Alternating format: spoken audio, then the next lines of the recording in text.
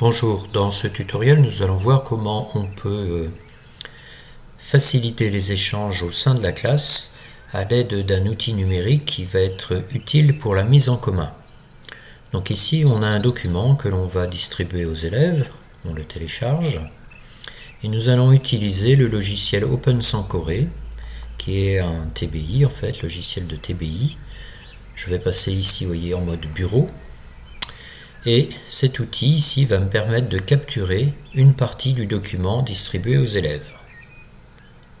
Pourquoi? Parce que on va l'ajouter à une nouvelle page.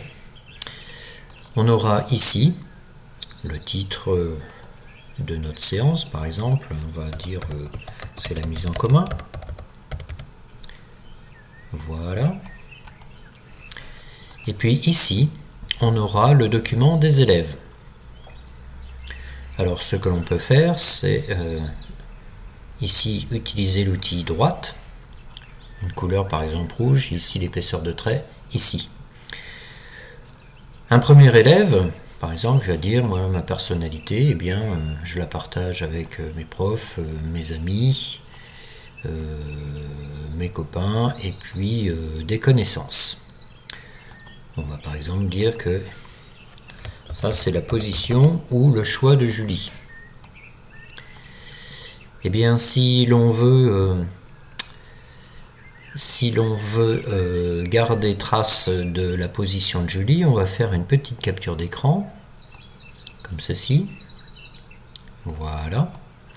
On va l'ajouter à une nouvelle page. Pourquoi? Parce que si on revient ici et qu'un autre élève veut lui donner son avis, eh bien, on va pouvoir gommer avec la gomme.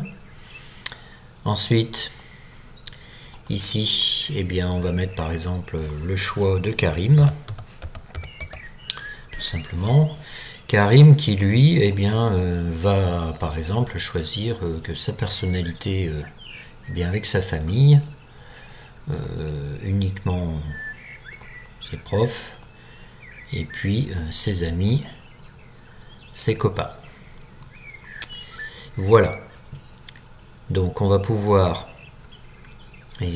capturer aussi hein, le choix de Karim. Voilà. On pourra l'ajouter ici à la bibliothèque. Hein. Pourquoi? Parce que ici, vous voyez, si j'ouvre maintenant la bibliothèque, eh bien, euh, dans les images, ici, j'ai le choix de Karim. Donc je peux venir le mettre ici. Et puis vous voyez, je vais fermer maintenant mes volets. Et on va pouvoir ici mettre euh, ben, le choix de Julie. Ici, celui de Karim. Alors on peut même, euh, vous voyez, si, si on veut les mettre côte à côte, hein, les comme ceci, les réduire.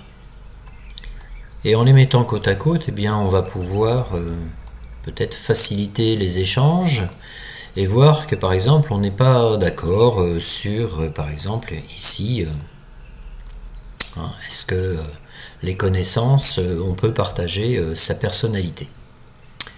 Voilà. À bientôt pour un autre tuto